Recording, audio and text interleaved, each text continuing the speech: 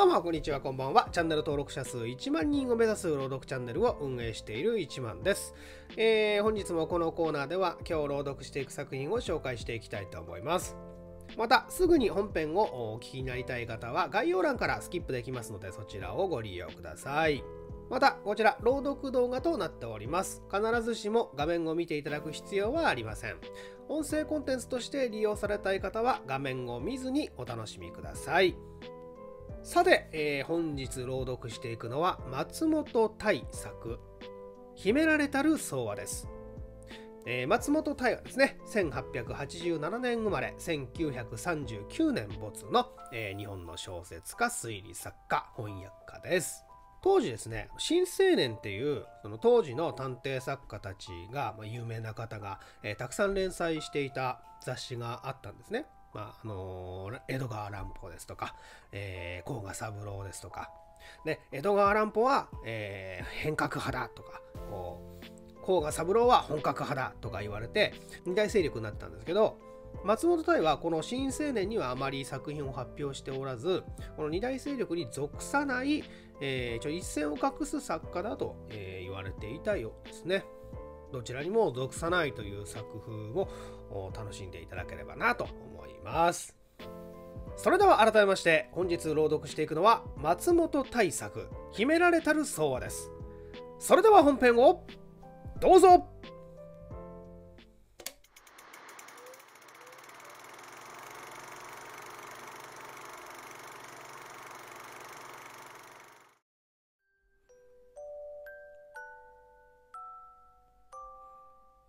松本大秘められたる相和。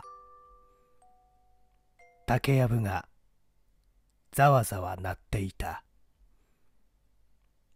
崖に挟まれた赤土道を兄弟たちが歩いている。裸足になっているのも靴を履いているのもいた。一同が広々とした縄手へ出て村の入り口にかかっている小さな橋を渡ろうとすると突然物陰からかすりのよれよれの着物を着たみそっぱの少年が飛び出してきて一番背の高い自分に食いつこうとした。シャニムにかじりついてくる少年のおでこに手をかけて力任せに押しのけようともがいているうちに浅田の夢は破れて蚊帳を外した八畳の間にぽっかりと目を覚ました。夏の激しい日光が8時前にもう東側の雨戸を熱くしている。浅田が下へ顔を洗いに行くと女中どもが台所でこそこそ話をしていた。なんだね？何か変わったことがあったのかね？浅田は朝の忙しい時間に台所を散らかしたまま手を休めておしゃべりをしている女中を咎めるように言った。ゆうべお隣へ泥棒が入っておばあさんが殺されたんでございますって。それは大変なことだね。お隣には鬼怒川とかいう下宿人がいるじゃないか。鬼怒川というのは弟の学校友達だったとかで顔だけは23度見かけたことがある。弟は巡り合わせが悪くこれまで転々と職業を変えてこの説はそれでも千住のゴム会社に勤めているが鬼怒川は去年から職を失ってブラブラしていた。鬼怒川さんがよそからお帰りになってそれが分かったのでびっくりして警察へ訴えたんだそうでございます。旦那様あの家の前におまわりさんが立ち番をしてるんでございます田舎から上京して間のない少し頭の働きの鈍い女中がおどおどしながら言ったそんなこと何でもない。親類か何かが死骸の後始末をしに来るまで番をしているんだ。まだ死骸があるんですか？女中は目を丸くして首をすくめた。浅田が食堂へ行くと次の間で子供に着物を着せていた妻の織江が青白い不機嫌な顔をした子供を先に立てて入ってきた。おやこの子はもう起きてもいいのかい？本当はもう一日寝かしておくといいのですけれどもどうしても起きると言って聞かないのです。お隣の米本さんのおばあさんが殺されたって言うじゃないか。ええ何ですか騒ぎですわね。犯人は捕まったのか。どうですか？少しも存じません。絹川さんは昨夜警察へ行ったきりまだ帰ってこないようです。昨夜何時頃だったろう？うちで寝たのは11時だったが俺はくたびれていたもんだからぐっすり眠ってしまって何にも知らなかった。お前は夜中に23度起きたようだったが何も気がつかなかったがね？別に何も怪しい物音などは聞きませんでした。あなたも一度お起きになったようじゃございませんか。織江はちらっと主人の方を見た。そうそう俺はいっぺん便所へ行ったっけな。あれは12時少し前で米本さんの家の2階に電灯がついていて誰かがマンドリンを弾いていたようだった。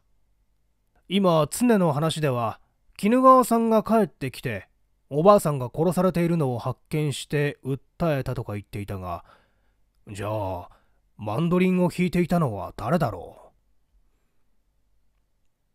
浅田は腑に落ちない様子で言った。マンドリンを弾くのが聞こえたなんて。それはあなたのお気のせいよ。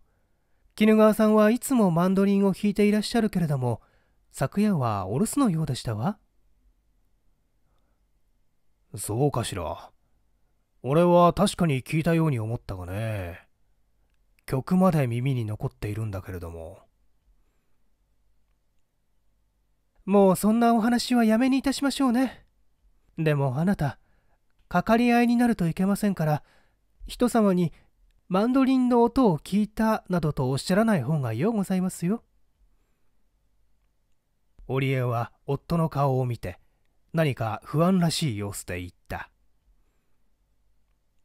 浅田は食事の間にも折々ぼんやり箸を休めて殺されたばあさんのことを考えていた。ばあさんは60を越した一国者で長い間雇い人も置かずに比較的広い家にたった一人で暮らしていた。何でも現金や債券をかなり持っているという噂であったが近所の人と顔を合わせるごとに貧乏で困るとか不景気だとかいうのが口癖であった。去年から不用心だからといって今の鬼怒川に2階の八丈間を貸して世間並みの食料やマダイを取っていた。浅田は食事を済ますといつものように新聞を持って便所へ行った。窓から隣の2階の縁側が見えている。縁側の下はすぐ勝手のトタン屋根になっていてそこから地続きの低い生垣を越えると浅田家の庭である。浅田は便所へ入っているうちに今朝の騒ぎを忘れてしまって墓参りのことを思い出していた。部屋へ戻ると「どうだね？今日は母さんの命日だからお墓参りをするか」妻に声をかけた。そうでしたね。でも私何ですか？少し気分が悪いようですから。今度一人で参りますわ。それに坊やのお腹がまだ本当でないんです。じゃあよしておくがいい。お前も顔色が良くないぜ。無理をして病気にでもなると困るからな。浅田は妻が昨夜から明け方にかけて23度冷蔵庫へ氷を取りに行ったのをうすうす覚えている。4つになるミノルが急に熱を出して頭が痛い頭が痛いとのべつに訴えていた。私寝不足なんですの。後で少し横になれば治ってしまいますわ。この子もいい塩梅に今朝はすっかり熱が取れてしまいました。お前もこれから少し運動する方がいいな。体のために俺なぞはテニスをするのでこの23年いっぺんだって病気をしたことはない。この通りだ。浅田は袖をまくってたくましい腕を振ってみせた。おや肘をどうなすって？怪我をなすっているじゃありませんか。織江は目ざとく夫の肘の下がミミズバレになっているのを見つけた。ああこれか。こりゃ何さ。先日自動車を自分で運転しようと思って柵の針金にぶつかったのさ。家の運転手は酒飲みで仕方のないやつだから暇を出そうと思っているんだよ。自動車の運転くらいすぐ覚えてしまう。浅田は自分でも初めて気がついたように傷を見て罰の悪そうな顔をした。あなたは本当に無茶だから気をつけてくださいよ。そんなことぐらいでようございましたけれども大怪我でもなすったらどうするおつもりなの？織江はしんみりした調子で言った。それから20分後に浅田は歌人に送られて玄関へ出た。門へ行くまでに手入れをしない花壇があってダーリアヤグルマ草クジャク草などが緑の島のようにぼっさりと茂っていた。門柱のそばに松葉ボタンが咲きこぼれている。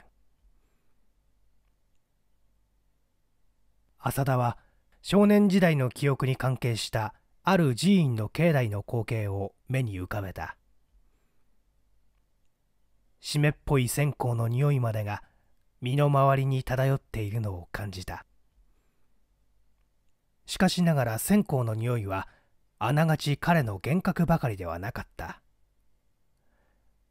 隣ではもう親戚の者が集って仏の始末をしていた。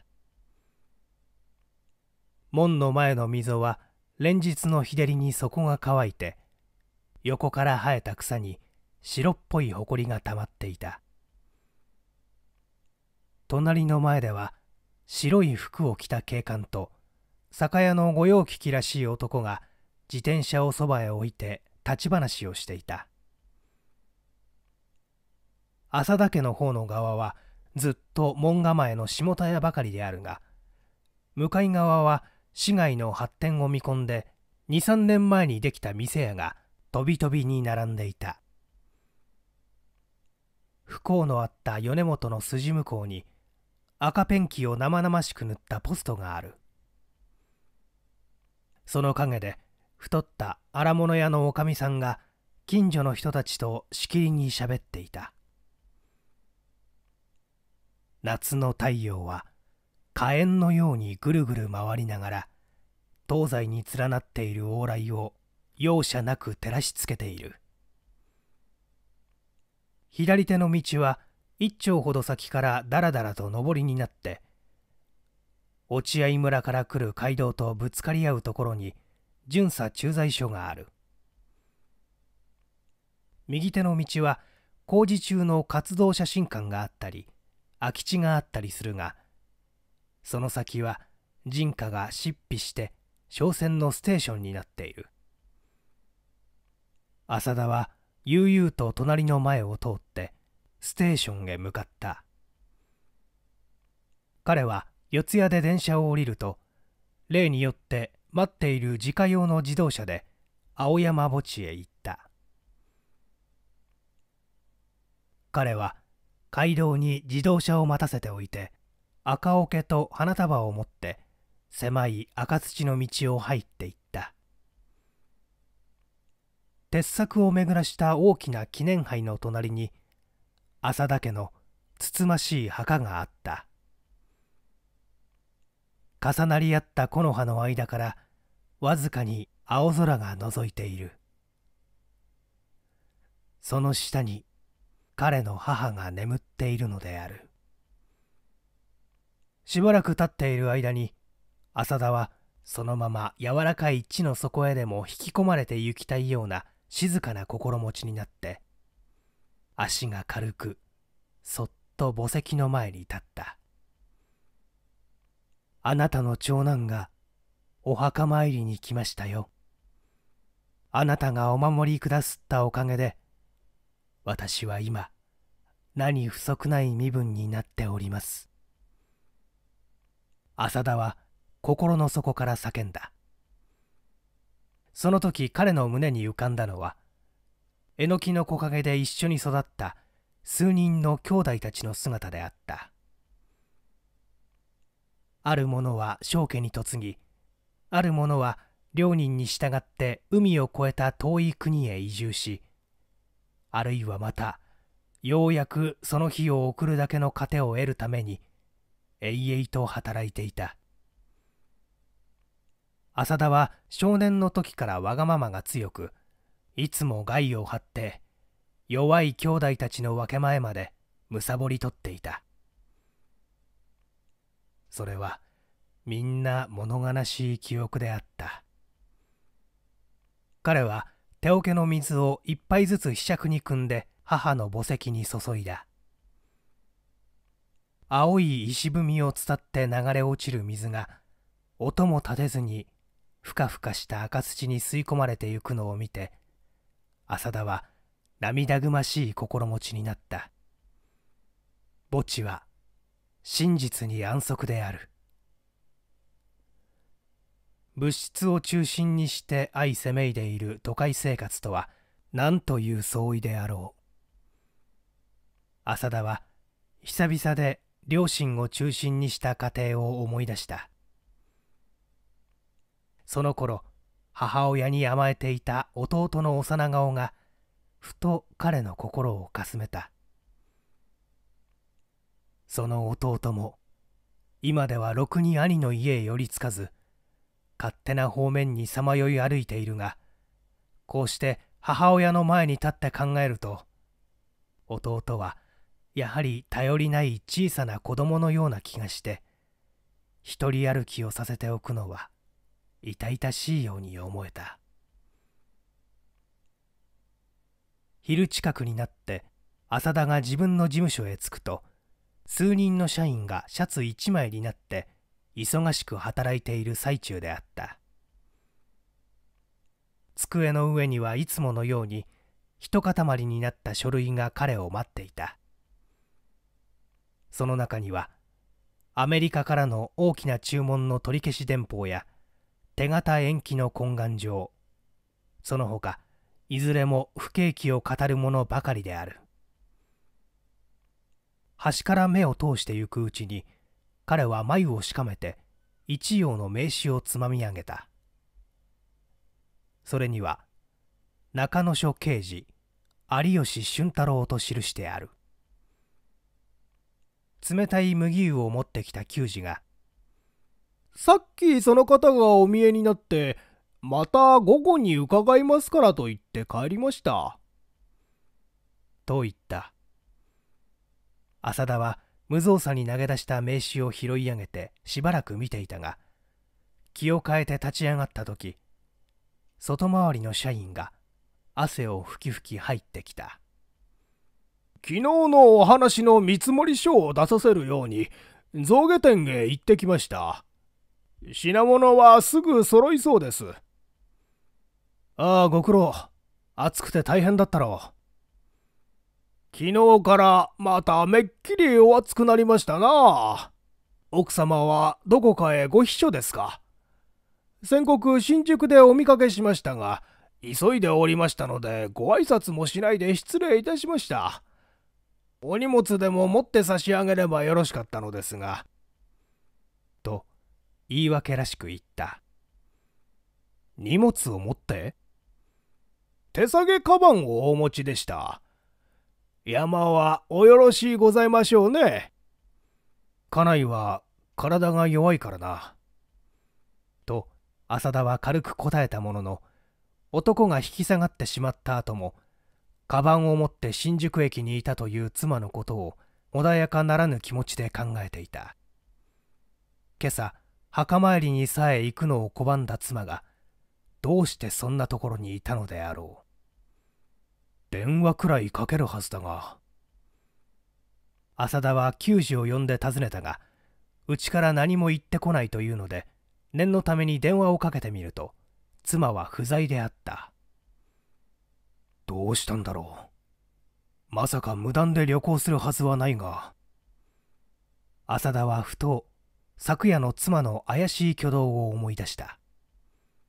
氷を取りに行った妻があまりに手間取るので見に行くと彼女は台所の窓から首を出して誰かとひそひそ話をしているらしかった。その時浅田は悪いところを見たと思ってそっと寝室に引き返してしまったのである。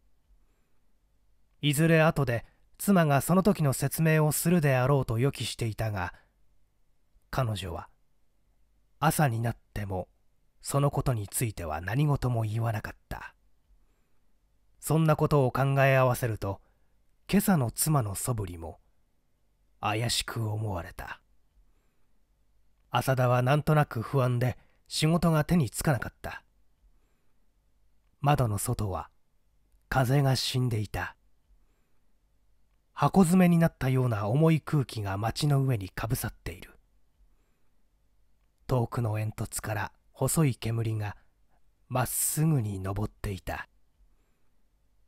その瞬間電車の響きも自動車の音も人の話し声も一時にぴったりと止んで不思議な沈黙が街を占めた。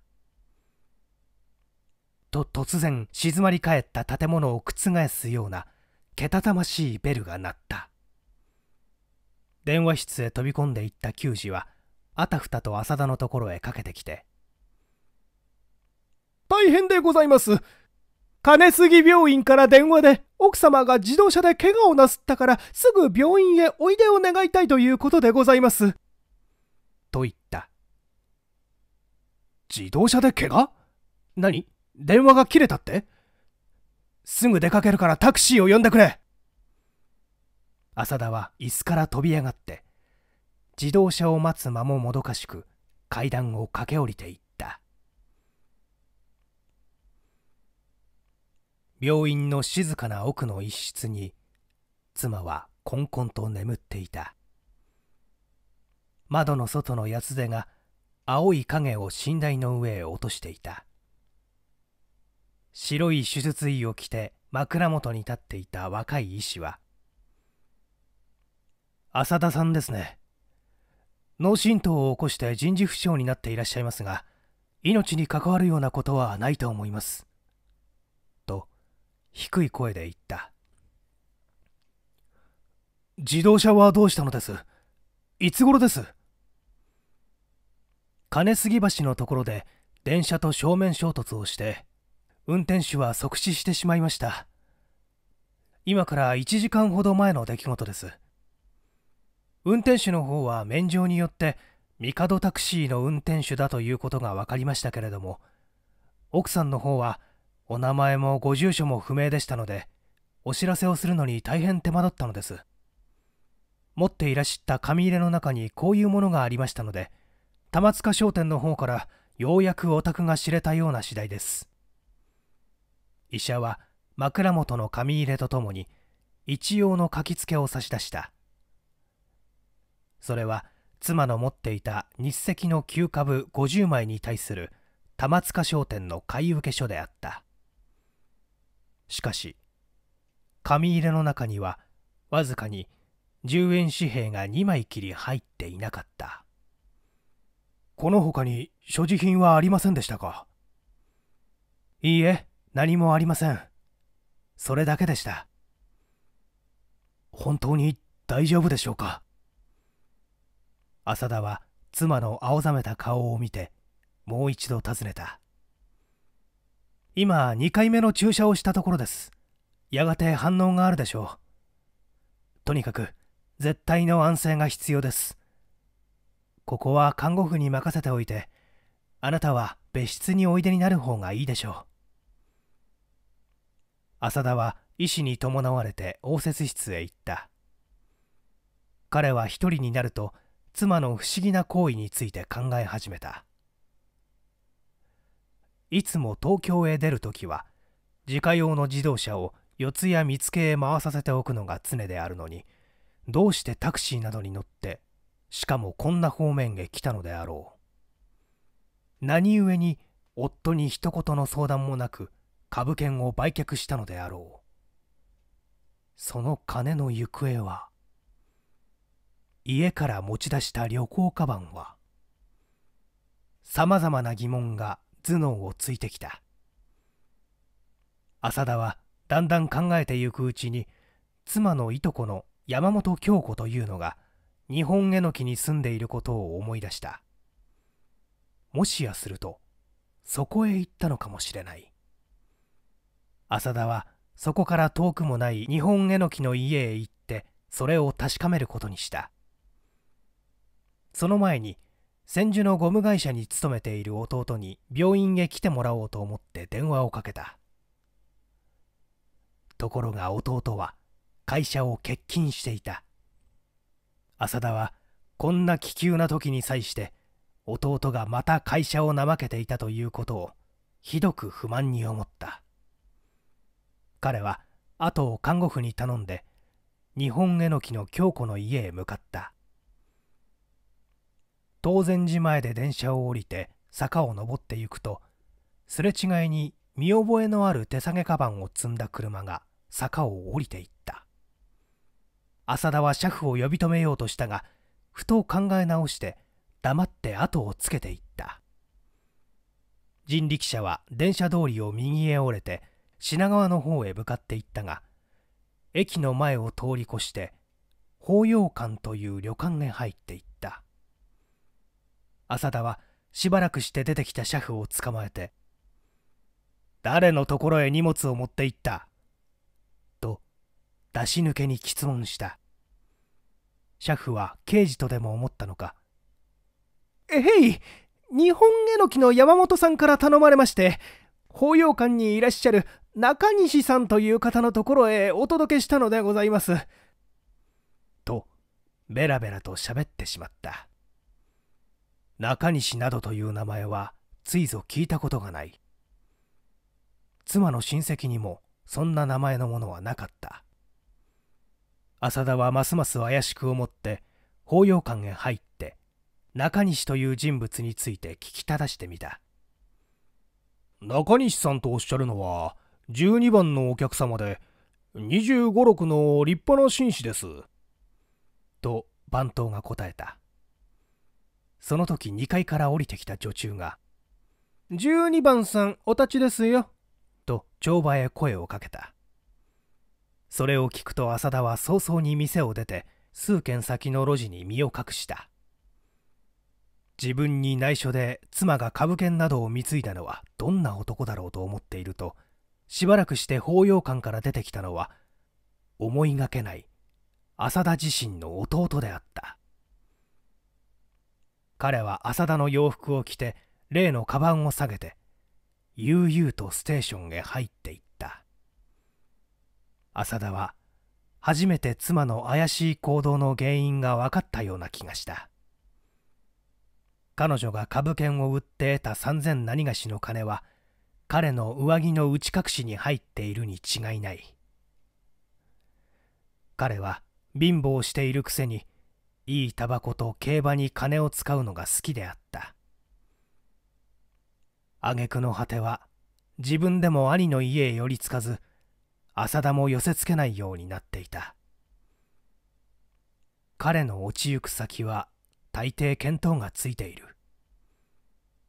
タバコの安い競馬のオートバクがある。そして悪事を働いても逃げ場の多い上海に違いない。弟はかねがね上海行きを無双していたがこんな風にして落ちうどになってゆこうとは思いもよらなかったろう。浅田は妻が計画したままにプログラムを進行させようと思って弟には声をかけずにそのまま病院へ戻っていった。病院の応接間に有吉刑事が待っていた。全国事務所へ伺いましたがこちらだというのでまた追いかけてきました。そりゃお気の毒でした。ご用件は？ご承知でしょうが昨晩お宅の隣に殺人事件がありましたが夜中に何か怪しい物音でもお聞きになりませんでしたか？下宿人の絹川という男が有力な嫌疑者となっております。しかしできるだけ確実な証拠を集めて当人に自白させなくてはなりませんから。それで何か参考になるような材料をいただけないかと思って伺った次第です。当人は外出先から帰る途中筋向こうの荒物屋へ立ち寄ってタバコを買いそれから家へ帰ると表戸が閉まっていたのでしばらく戸を叩いたが返事がなかった。そこで雨戸を外して家へ入ったら老婆が殺されていたと申し立てています。しかし荒物屋のかみさんの言葉によるとその時鬼怒川は左右別々の下駄を履いていたというのです。それに鬼怒川は毎朝荒物屋へタバコを買いに来るが晩はよそで買うと見えて来たことがないのにその晩に限って買いに来たこと。および彼のたもとに手のつかないバットが2箱も入っていたこと。そんな事実から押して彼は不在証明を立てるためにわざわざ荒物屋を起こしてタバコを買ったと認めております。しかし鬼怒川という下宿人は昨夜11時前後には家に帰っていたと思います。窓に明かりがついていてマンドリンなんか弾いていたようです。いやマンドリンの音を聞いたとおっしゃるのは錯覚でしょう。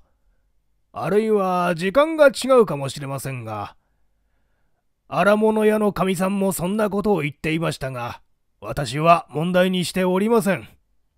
かみさんは鬼怒川と話をしている最中に鬼怒川の部屋からマンドリンの音が聞こえたなどとバカなことを言っているんですよ。はっはっは。もっとも鬼怒川自身も自分が宿へ帰る前に誰かが自分の部屋へ入った形跡があると言ってそれが犯人に違いないと申し立てているのですがね。しかし私は鬼怒川が一旦家へ入って老婆を殺しておいて、屋根伝いにお宅の裏庭へ降り、さらに表通りへ回って、荒物屋で不在証明を立てに行ったものと睨んでいます。下駄が左右別のものであるということは、強行後、戸締まりをして表へ出るとき、慌てて間違えて持って出たのです。それに、鬼怒川の袖に火花の枯れ葉がついていましたし、それからお宅の隣の屋根に接近した裏庭の火花の枝が折れていました。それでもしやお宅で何かの物音をお聞きになったか、あるいは鬼怒川の姿でもご覧になりはしなかったかと思って、それを伺いに来たのです。それから一応ご了解を得ておきたいことは、鬼怒川が盗んだ金をお宅の庭へ隠したかもしれないという疑いから、ただいまお宅の庭を捜査させております。と言っているところへ、中野署から有吉刑事に電話がかかってきた。しばらく席を外した刑事は、得意らしい微笑を浮かべながら戻ってきた。やはり犯人は鬼怒川でした。そうですか。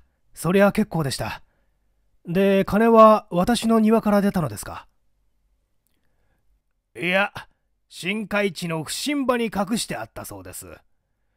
私が最初鬼怒川を怪しいと睨んだのは、死骸を発見したなら、すぐ坂上の交番へ訴えるのが死闘であるのに、わざわざ遠い深海地の先の文書まで行ったからですよ。どうも大変お邪魔をして申し訳ありません有吉刑事はいそいそと帰っていった翌日の新聞に高円寺老婆殺しの真相が詳しく報道された。それによると生活費に窮した鬼怒川は友人を語らって老婆から金を強奪する計画を立てた。まず彼は自分の姿に変装させた友人を家に入れておき老婆が一人きりで茶の間にいるという合図にマンドリンを弾かせ自分はそっと家へ忍び込んでいきなり老婆を襲ったのである。それから金を盗んで一旦表へ出て荒物屋でタバコを買い不在証明を立てておいて騒ぎ立てたのである。鬼怒川は罪の一切を自白したが彼の仕事を幇助した仲間については浅草公園で23度顔を合わせたばかりでよくは名前も知らないと言い張っている。浅田は胸をワクワクさせながらその記事を読み終わった。妻は穏やかにすやすやと眠っている。そこへ会心に来た院長はそっと病人の脈を取って「もう大丈夫です。危機は去りました」力強い語調で言った「もう大丈夫ですよ」という言葉は浅田にとっていろいろな意味で聞こえた。浅田は妻がこれほどまでして弟を逃がした心やりを無にしたくないと思った。それゆえ他日妻が自分から打ち明けるまで昨日以来の出来事を一切知らないことにしておこうと決心した。